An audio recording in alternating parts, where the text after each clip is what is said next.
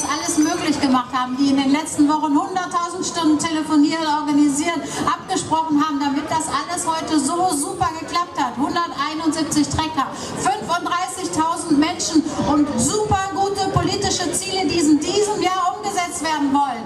Saskia hat es möglich gemacht. Sie leitet das Team, das Orga-Team von Wir haben es satt.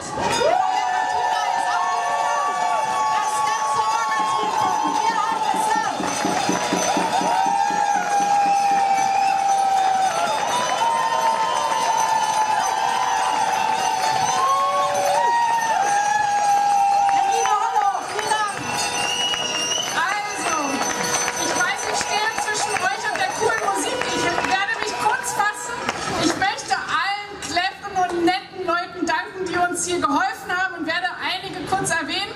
Und zwar ganz besonders Johannes.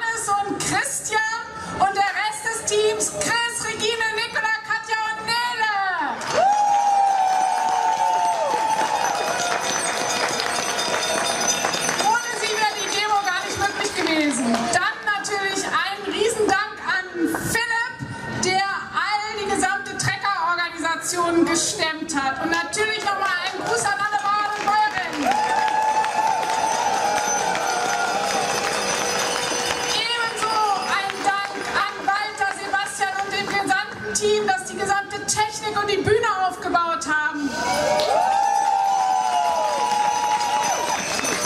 An Luise und das Team von Slowfood, die uns gestern die großartige Schnippeldisco organisiert haben. Und an Pauline und Belly, die den Supentalk organisieren. Dann, worum geht's? Natürlich ums Essen. Ein Riesendank an Bamkat und die Flaming Kitchen, die die gute leckere Suppe hergestellt haben.